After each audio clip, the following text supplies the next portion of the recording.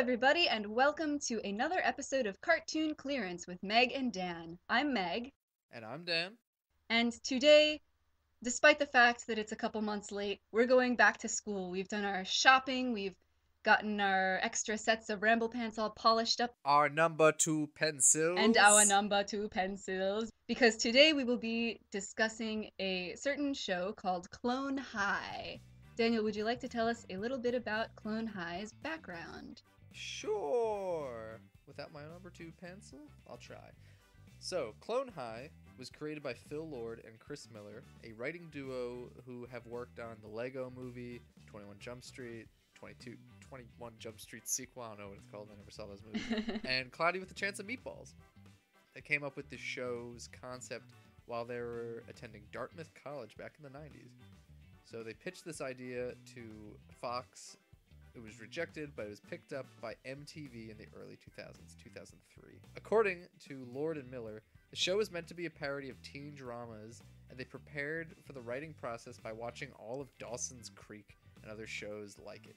The show had 13 episodes, which aired throughout 2003, and it features the voice talents of Will Forte, Nicole Sullivan, Michael McDonald, Miller and Lord, respectively, uh, Christa Miller, and a cacophony of special guest appearances like Andy Dick, Marilyn Manson, and Jack Black.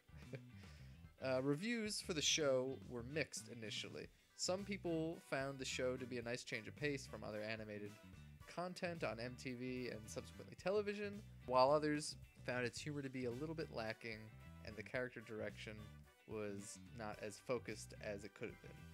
Though some people also praised that for some reason, though we'll discuss that later. Controversy sprang up around the show because a article, I believe a Maxim magazine, depicted one of the episode's uh, stills of Gandhi. Gandhi's one of the characters in the show being beaten up by JFK, another character in the show. And this was not cool in India. I think they were just celebrating like the assassination date, or maybe not celebrating it, revering it might be the more appropriate thing to say. Bad timing. Yeah, bad timing. So India like flipped out about Gandhi being depicted this way, and they they start going on hunger strikes. They swarm the MTV branch building. They like demanded that Clone High be taken off the air, or they were going to revoke MTV's license certificate to air programs. So MTV went back to Lord and Miller and asked them to pitch a new season of Clone High without Gandhi. They tried, but MTV I think was just too focused on the controversy, and the show was canceled with only one season. Meg, would you like to give us a little bit of a summary about Clone High? Well, it all begins way, way back in the 1980s. Secret government employees dug up famous guys and ladies and made amusing genetic copies. Now the clones are sexy teens now. Alright, okay, I'm, I'm not gonna quote the whole theme song, I guess that's a little bit cheating. As the lyrics indicate, Clone High is a school whose student body is made up of the clones of various historical figures, such as our main protagonists, who are the clones of Abraham Lincoln, Joan of Arc, and Gandhi. And the clones are being raised for some nefarious purpose that's never really elaborated on and never really affects their lives. They have a maniacal principal named Scudworth who wants to betray Cinnamon. Cinnamon J. Scudworth. Cinnamon. Oh, that's his Yeah, really? that's his first name. It flashes by really quick in the opening. That's beautiful. I love it. So, Cinnamon J. Scudworth is their maniacal principal who wants to betray his shady government bosses and make, I guess, a an amusement park that's a zoo featuring the clones. But that also doesn't really affect the clones at all because he never really gets anywhere with that. So, what do they do? Their days are mostly spent navigating the dangerous waters of high school and all the stereotypical emotional baggage that entails, aka romance. That's the the biggest focus of this show. So you've got this big love dodecahedron, I guess, where you have the cynical Joan of Arc who's desperately pining away for oblivious Abe, who is single mindedly pursuing the queen bee Cleopatra, who's on and off dating the heartthrob, jock, tight bunned JFK, and Gandhi does Gandhi things like publicly humiliating his depressed classmates who reached out to him in a vulnerable time. You know, the usual. I, I think I think the Indians probably had a lot more to be offended about than just him getting beaten up. But I mean it's a parody, so I guess there's a degree of things that are excusable. I'm not really the best person to judge on that, but anyway, we can get into that. What did you think of the show, Daniel? So, anytime I talk about any show that I, I, I bring up, I like to do a little sort of background to how I came about it. And Clone High was actually a show that I never watched when it was on TV or growing up. I remember my older brother and his friends, though, talking about it. And the, for the longest time, I think the only thing I really knew about the show was this one clip of JFK trying to teach elocution to uh, Gandhi, like the Pygmalion, and he's like, "For supper, I uh, would like to order the party platter," and I remember everyone quoting that. And honestly, I really My like that. Fair Lady. I thought about this show, and it's all about historical figures. Abraham Lincoln's the main character. It should be like the perfect show for me. As the history. buff. Unfortunately, I think it was only chuckle worthy for me. Uh, the, the I- I think the areas that I enjoyed the most was probably the art, uh, the the delivery of certain jokes. Some jokes were really funny. Certain characters were very great, even though they were only in it for like three seconds. But overall, I think the show it fell flat. But I'll start with the positives. So, like I said, art, music's good.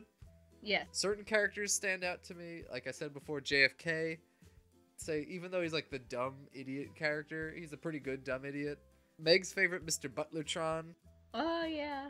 I like the angry cop that's played by Andy Dick. Uh, Joan of Arc's step foster father, the blind Foster clarinet jazz musician Toots. Toots. Uh, George Washington Carver's genetically mutated peanut. Like, there's a lot of like really funny. Like they're all clones, so of course they have this, but then some of them are just like George Washington Carver, who who in turn genetically engineered a new peanut thing. It's weird. Right.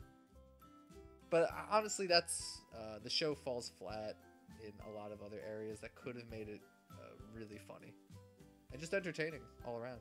Yeah, I I wasn't all that impressed. I had actually seen the first episode of this some time ago, probably um just a few months ago, so not that long ago. And there was kind of a reason I never really watched beyond that because the first episode, while it had some funny aspects to it, didn't really do it for me. There's a lot of really obnoxious humor, like I said before, Gandhi's character is just so obnoxious and there's nothing likable about him at all. And honestly, there's nothing really likable about a lot of the characters. Like our protagonists, Abe Lincoln, Joan of Arc, Gandhi, none of them have anything that really made me sympathize with them because it was all just crass jokes or pining and or being like stupidly oblivious to things to the point Yeah. where it makes you a jerk. I think for me, the show suffered for the same reasons that Mission Hill suffered for me, was because the characters were complete shallow jerkwads that had very few redeeming qualities if they had them at all. So the constant stream of hit and miss jokes isn't enough to make up for that lack of substance for me. I think that if they were going for a parody, that shallowness could be excused, but I kind of feel like they played it a little bit too straight for it to really come off that way. Like, you know, right from the first episode, you see that Joan is pining over Abe, but Abe likes the nasty popular girl. And you go, okay, by the end of this, Abe is going to be about to get the girl and then realize that he really has feelings for Joan. But Yeah, and you're like, oh, that's really cliche. I'm hoping a show that's trying to be this edgy or fresh wouldn't do that, and it does exactly that. yeah, it does exactly that. And so I, I feel like, you know, Cleopatra reciprocates Abe's feelings for whatever reason that's never explained, never even hinted at why she likes him when she's still kind of like maybe going off with JFK behind his back once in a while. Yeah, yeah. I think the problem is that, like you said, the show is a parody. And normally, I mean, I, I like a lot of spoofs. One of my favorites, Mel Brooks comedies or Wet Hot American Summer, which has caught on a lot in the past couple years. Those are movies and shows that also have very shallow characters. I'm okay with the show having shallow characters. Oh yeah. But the thing is that like you should play up to that without being too terrible. Uh, to compare it to Wet Hot American Summer. So you have the Abraham in in Clone High. You have Abraham Lincoln and Cleopatra are, are wanting to be a couple, and, and the whole thing. Oh, Joan actually likes Abraham Lincoln. There's gonna be a love triangle, quadrangle, whatever you want to call it.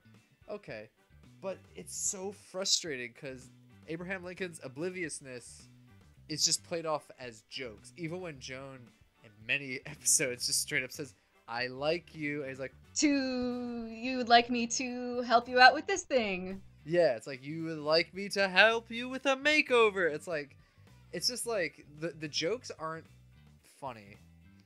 So all you're left with is a character that's just a jerk.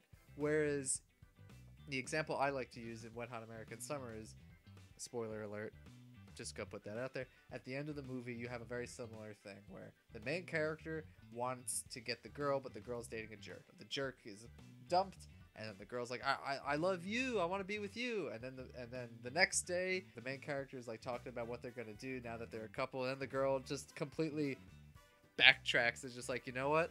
I think you're a great guy, but I'm 18 years old. And there's only one thing I want to do, and that's screwing. And my boyfriend was really good at that, and he's like hot. But you're a nice guy. but see ya. And like that is like the perfect like pull the rug out from under you. The characters are all shallow, but it's still like a, a good comedic kind of shallow. And this like in Clone High just doesn't come off that way, especially when the jokes fall flat. They're all gags. Right. Like, I think the fact that Cleopatra ends up reciprocating Abe for whatever reason kind of messes up that parodical thing because at points her feelings seem to be really genuine, but from what we know about her character, which is pretty much that she's shallow, she likes um, she likes power, she likes being the top of the top, doesn't really make sense as to why she would really reciprocate other than Yeah, what does she get out Yeah, of this relationship? because Abe isn't high up on this on the social ladder. He's not really anything that she wants. What she wants is JFK, and they're constantly fighting and breaking up. But that's just part of their like parody dynamic. Like we don't really get along, but we keep coming back together anyway because you're hot and because Yeah, we're yeah. both popular. But Abe is not really either of those things. So why does she like him? We don't know. And then there's really no development of that. And I feel like if you're going to make her genuinely like him back, there needs to be some kind of development. actual yeah, actual emotional bearing. Yeah. The whole relationship. And I think one of the big areas that this show failed in its setup of that is that I think Abraham Lincoln, clone Abraham Lincoln, uh, gets the girl too quick. He gets Cleopatra in like episode maybe Two or three. three, two or three, and that's an interesting route to take. But what's the buildup? The buildup is that Abe wants to like have sex with Cleo, I guess, but not really at the same time. Like his the buildup is that can Abe keep Cleo Yeah. before he realizes that he actually likes Joan, and that's kind of a There's no development to him realizing that he likes Joan either. Like you would Yeah. think that they would drop hints throughout the show, but it's constantly and I guess you could say that his consistent and very very persistent denial of her feelings is maybe a hint in and of itself. but it's not played off the right way. It's I, I don't think it's enough. And I know we've talked about when, when we've been discussing this personally before recording, we've we've ended up comparing the dynamic of these of, of this trio of protagonists to the ones in Danny Phantom a lot Yeah, because they have a really similar dynamic. You have the main character who's in love with the popular girl, his female friend who's got a crush on him, and then the third friend who's like a third wheel, pretty much. you know, comic relief, that kind of thing. But Danny and Sam actually do have development. They actually have a friendship to base off of, and you can see their feelings kind of surfacing and getting buried down again as the show kind of progresses. And uh, when I watched that show, I actually really liked them as a couple, which is surprising for me. But like Joan and Abe's interactions are entirely either Joan giving Abe advice or getting her ear talked off about his relationship with Cleo, or Abe completely steamrolling over all of her attempts at romantic advances. And and you know what? Actually, I'm thinking about now is that I want to know why Joan likes Abe. Exactly, like Do they ever actually put in little seeds? Like at one point in the show, Cleo and Joan are they become roommates, and They have a sort of weird heart to heart moment. hmm You know, it's not that substantial, but whatever. It's not that lasting either. Yeah, I thought, why don't you take advantage of that opportunity where you just moved two characters into the same house who hate each other hmm and where you could have an actual heart to heart? She's living with the person who is dating the person she loves. Yeah. That sounds like at some point something would come up, and Cleo knows that too. Oh yeah. and it, it that should play into her character or something and it could still all be funny but it's just a lot of like lost So much because they never really did anything with that scenario aside from use it to have a couple of cat fights.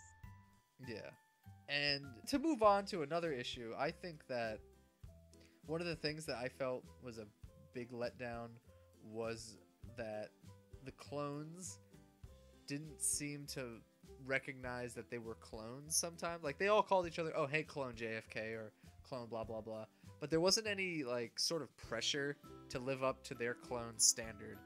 Usually it was a, it was for a joke and sometimes you know I, I laughed like jfk is in a car and he just looked behind him and he's just like nothing bad ever happens to the kennedys. And he drives away and then it's like okay that's pretty funny in a very dark way but but like yeah like they do that and then maybe once or twice abe will be like what would the real abraham lincoln do?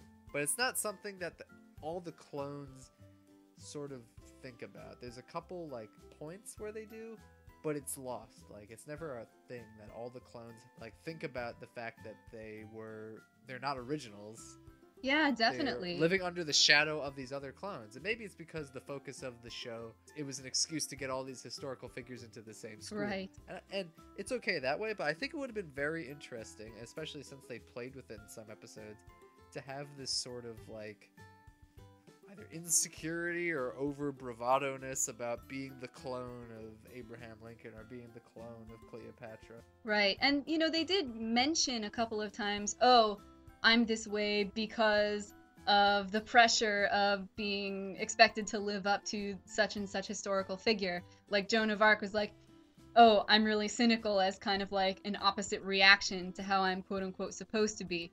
Or Gandhi, who's just like, no, I'm going crazy. Like, I can't do that peace stuff.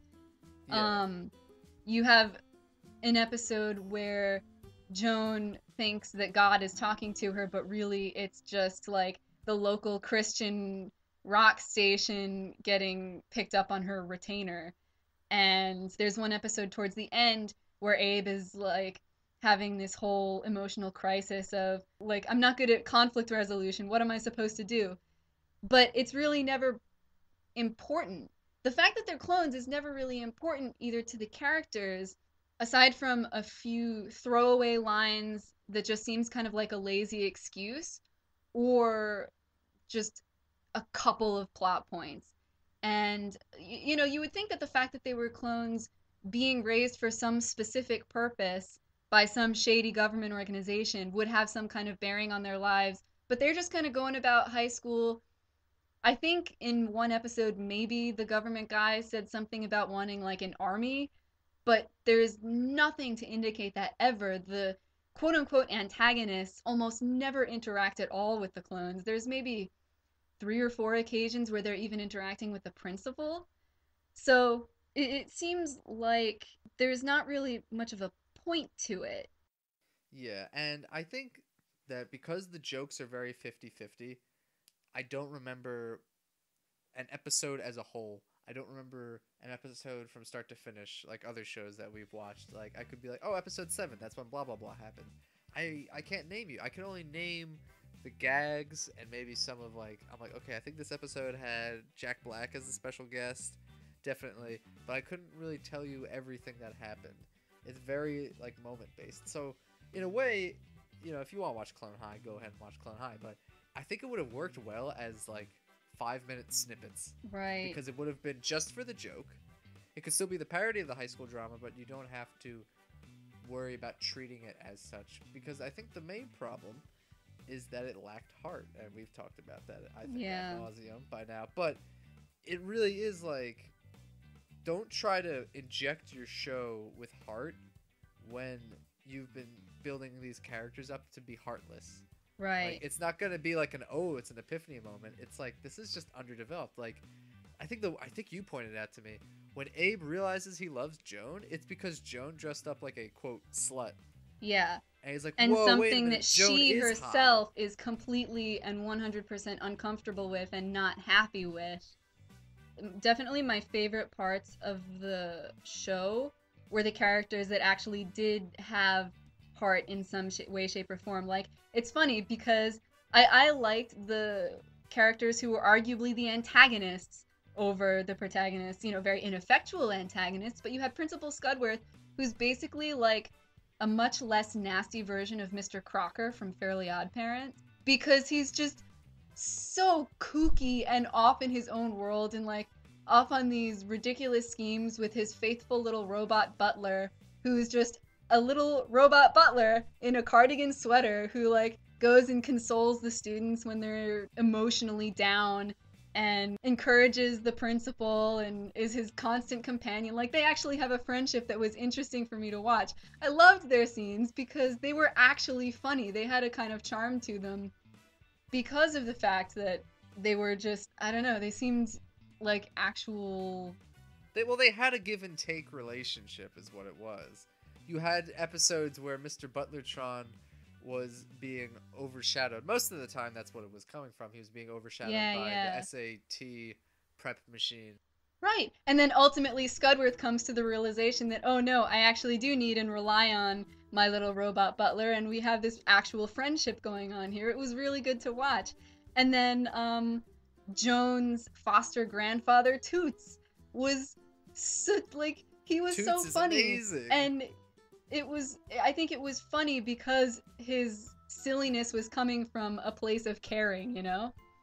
Not that, not that all humor has to be about, like, caring and whatnot, but No, but like it lampoons it. Like the first time you see Toots, he it's during a parent teacher conference where everyone's like outraged that Gandhi has ADD and ADHD, and then Toots just stands up and you think he's gonna be the voice of reason. He's like, "Now I may be a blind man, but I can see y'all are angry," which tells me this is not the sizzler that I thought I was in. Now, if you excuse me, I'm gonna go get lobster. Carry on with your parent teacher conference. It's like yeah. it's a perfect like I gotcha. Like Toot Toots is like, and as I mean, my I live with a blind person, so I think a lot of the blind jokes came off as very like, definitely uh, hyperbole, but very true. Like you know, you have a scene of Toots being like, "Storms a brewing," Yeah. sitting in front of like an open refrigerator. Or like he's just like the flood's coming, get in the boat, Jonah, and On there's like no land. water, but he's like rowing a boat. For me, they were great, and Toots was actually like he still was a voice of reason, but in a very funny, cartoony way. Like, now, Joni, you're my daughter, and I love you, and you're so beautiful. And he touches a basketball. He's like, oh, Joni, you're gonna want to work on that. like, you know, it, it- he was still a gag character, but he had a little bit of like good-natured warmth Yeah. to him at the same time. It yes. was fun. He was a fun character. I'd say like the only other episode that I really like enjoyed that I would say is my favorite is when JFK's best friend who is just introduced. What are you talking about? He was totally an important main clone in the entire series. I will I will admit they, there is some funny like setups to Clone High, like how the announcer there's a narrator and he always sets up this is a very special episode of Clone High. Every episode is a very special episode. And one episode like they tease it's like next episode one of the clones who you've definitely known for the whole series is going to die, which is and then they flash on screen a character you've never seen before. And it ends up being that character, obviously. But it's like instead of the Fonz, it's the Pons as Ponce de Leon, and he just wears a leather jacket but like fancy purple pants. And it's JFK's best friend, and he dies from litter, and like in a horrible graphic death. oh, it was Where, like so he's like gruesome. gurgling on blood that's like being pooled in a bag that's wrapped around his head. And he cr- He went the way of the sea turtle. but like yeah, but like everything like in that episode was actually like kind of funny. Like JFK actually showed that he wasn't such a huge jerk and he actually cared about something other than himself. yeah. It was somewhat interesting. Cleo actually shows she sort of has heart because she still considers JFK to be her friend, and Abe has to go down and comfort JFK, mostly to get his girlfriend back, but also like because he sees that JFK is not a huge jerk. And JFK, while still in shambles, manages to be a funny character. Like the ghost of the Pons comes back, and he's like, "Are you a genie?" He lives inside my head. he like rubs his forehead. I think we were talking about JFK being the best example of a parody character done actually right Yeah, absolutely. I because he was so over the top. Like he was so over the top, but then he still had that kind of I think because JFK is a is a historical figure that is still very much celebrated, lambasted, whatever you want to call it. He's a person that everyone knows, and he's there's a lot of stuff you can parody about it because he's so famous, not just for being the president, but being a part of the Kennedy legacy and everything. right. That you could be like, yeah, what if uh, like the greatest, no, not the greatest president of the 20th century, but one of the most well-known presidents of the 20th century, you just make him a huge tool. So, and that's why I think, in conclusion, if we may conclude, oh yeah, the show had so much potential to be, as I said when I started, the show should have been my favorite show with all the makings. I love the style. I love some, some of the jokes. The the whole concept of all these historical figures being in a high school together makes me laugh so much. I love I love shows set in schools. I don't like teen drama stuff, but I like stuff that's set in schools. Yeah, I think if you gave me a show about Principal Scudworth and Mr. B and had guest appearances by like JFK and Toots, I I could do without most of the rest. Yeah. So I think that's gonna do it. I think this so. episode of cartoon clearance. Yeah. If you thought what we said was good and commendable, leave a commendable comment and maybe like. And if you really like us, I'm not pressuring you. I'm not peer pressuring you into anything because I watched an episode about that on Clone High. But subscribe if you like us. We are Discount Ramble Pants, and remember, when God gives you lemons, you clone those lemons and make super lemons. This ends a very special episode of Cartoon Clearance. We better see you next time. Bye.